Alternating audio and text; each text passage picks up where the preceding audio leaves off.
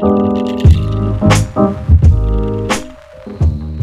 guys, welcome to the second sketch. And here I'm already on the next paper, using my mechanical pencil to basically to draw. So um, the sphere I'm drawing there is just a construction help uh, to, to construct a face. Um, but your your head is not a sphere, not a perfect bowl. Uh, it's kind of shaved off on the side. So this is what uh, is the other oval which you're seeing uh, at the side of the head. And um, like on the top of the forehead, there's another circle uh, going around the head. This is basically the hairline. Those are, if you're doing uh, anatomy studies, I think uh, I talked about that also when I was doing the skull. Um, knowing those uh, basic proportion rules is very helpful. And um, here I was just building up the whole uh, body. Actually, that was completely done out of my head without a reference. And um, I mean, of course, you can use references for inspiration. Um, I mean, copying their copying is good for uh, like studying techniques or, or being a little bit experimental. Um, but the the feel of producing something new is, of course, uh, lower or weaker compared to when you're actually creating something out of your head. And actually, uh, after I did all the anatomy studies, the results I'm doing uh, out of my head are way more helpful. And I mean, um, I, am reading uh, books of artists which are also saying like they have a specific posture in mind and um, they they are taking pictures of themselves like imitating this posture like the certain position of, of, of hands for example. And um, yeah then they have a reference to draw from. But it's still uh, not like it's coffee copied but it is like your own idea you know I mean, don't shy away from finding things which are helpful. So here, the idea was that he was carrying a rope on his shoulder.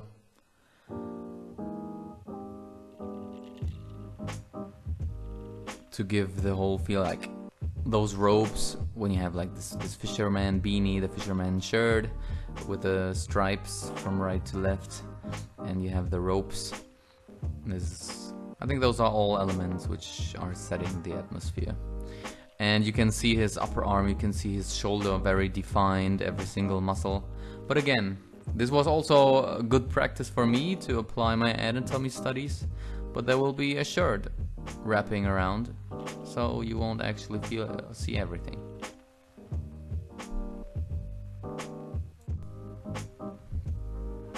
So after those light sketches are already showing uh, a great deal of where this whole, whole thing is supposed to be going.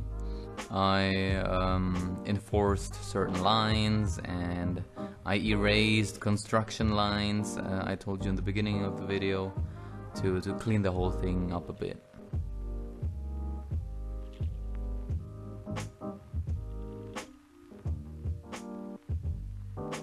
Yeah, when I was building up uh, those details of the rope, you always have to um, make sure again, like, do you know from which perspective you are looking on the rope? From the top, from below, from the side. to create nice volume. And um, again, I will be switching between blending stumps and mechanical pen pencil.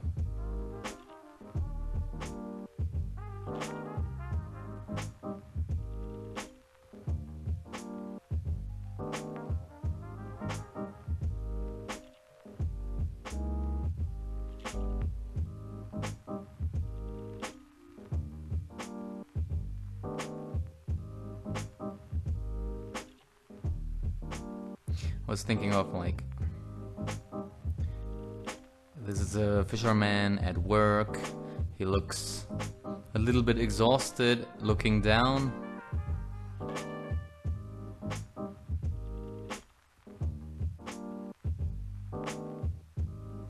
This sketch in the end was um, discarded. I really like uh, how it turned out. I was also quite proud uh, that I made that out of my um, fantasy actually. Um, but uh, for a home gym, um, maybe this down looking, a little bit exhausted look is not the perfect choice uh, for a gym logo. Still, the picture has something expressive to me.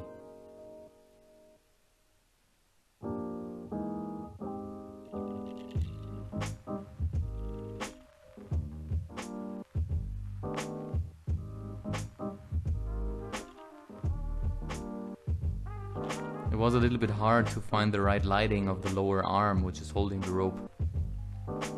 Because the the the light is coming from top right you can see that on the head, you can see that on the lower arm as well.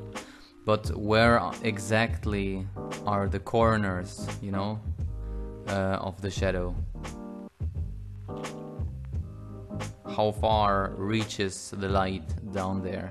Because also in this position, the arm is kind of tilted a bit and like there are corners where the light reaches and there are corners where the light doesn't reach. And uh, I was also trying around a bit to um, to find out okay which which which view looks right which shadow is in place which isn't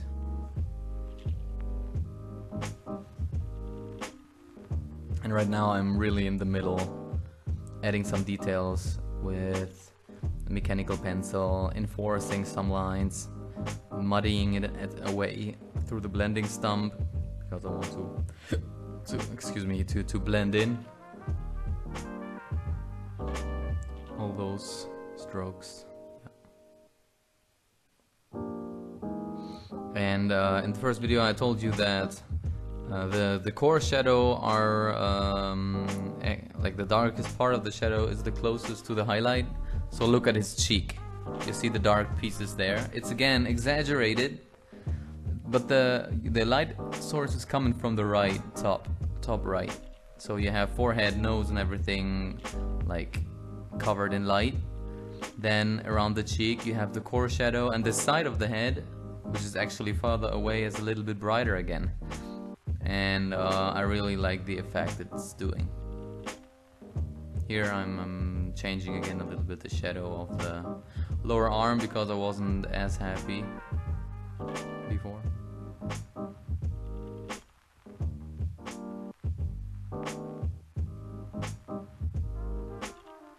And knowing here the anatomy, like where the muscles start and where do they insert is so important. Otherwise, without that knowledge, there is no chance that you can draw a lower arm, especially muscular lower arms in the right way.